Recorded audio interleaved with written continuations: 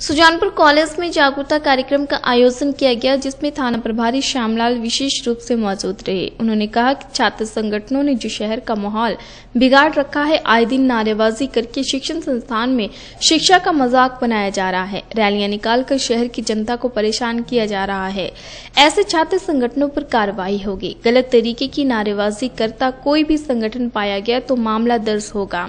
उन्होंने आह्वान किया है कि शिक्षा के मंदिर में बेहतर इंसान बनने की कोशिश करें ना कि राजनीति की। नशा जिस कदर चल रहा है, उसमें सबसे ज़्यादा भागीदारी युवाओं की है। लोगों को नशे के बारे में कम और शिक्षण संस्थानों में शिक्षा ग्रहण करने वाले छात्रों को इसके बारे में ज़्यादा जानकारी होती है। नशे का सेवन करना अपराध है और उससे भी बड़ा अपराध नशे की तस्करी करना है। इस दौरान उन्होंने विद्यार्थियों को यातायात नियमों की जानकारी विधि तथा नशे के खिलाफ जागरूक भी किया। कुछ भी हंस रही मेरी बात को। मैं समझ सकता हूँ कि किस मानसिकता है। इन चीज़ों को निकालो। आप एक बहुत सभ्य देश के लोग हो।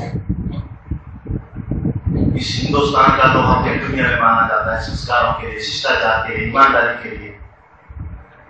क्या कर रहे हो आप? नशाखोरी इतनी बढ़ गई है तुम लोगों में? उन नशों का इस्तेमाल तुम लोग करते हुए जिन नशों के नाम अभी तक हमारी पुलिस फोर्स के साथ नहीं जानते हैं। शरीर खराब कर